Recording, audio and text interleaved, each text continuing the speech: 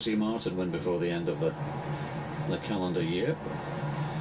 Here's Lowry, who had a putt for a course record 63 at Carnoustie yesterday. Going 64 on the toughest of the three courses. That was a wonderful shot to nip it off that tight lie, lob it over the mat.